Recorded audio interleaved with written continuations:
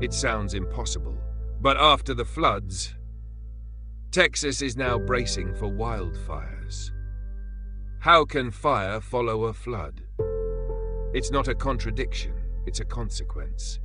The floods stripped away topsoil, destroyed ground cover, left behind dried debris, dead trees, and exposed roots. As the water receded, temperatures rose, and now in some areas, conditions are perfect for ignition. This is the new disaster cycle. One crisis bleeds into the next. Floods, fires, power outages, displacement.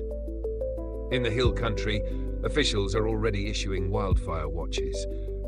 Bastrop, Travis, and Blanco counties are now marked as high risk zones.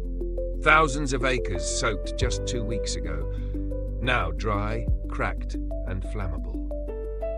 The emergency isn't over. It's changing shape and moving fast. So we mapped it out. These are the areas most at risk. Counties with steep terrain and exposed vegetation. Areas recently cleared of ground cover by flooding. Rural zones far from active fire stations. This is how flood season becomes fire season.